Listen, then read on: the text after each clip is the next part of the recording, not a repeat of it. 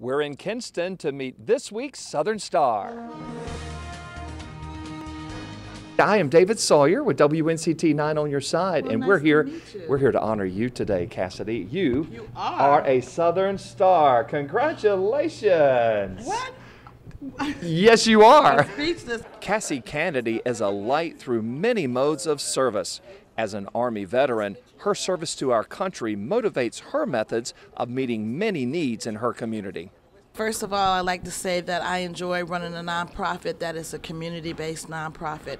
My efforts are to make sure I reach everybody in the community that has a need. That's why my nonprofit is called What's the Need? Great. If I can't help you, I'm going to find an organization that can. Two years ago, we deployed to Texas with Red Cross, and hmm.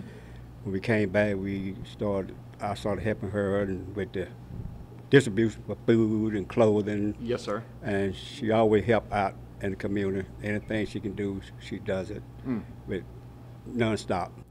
Cassie, again, congratulations. Our community partner, Southern Bank and WNCT 9 on your side. Congratulations to you. so very much. Absolutely. And if you know someone in your community making it a brighter place, make your nomination as well. Go to WNCT.com slash stars. Yay! Yay!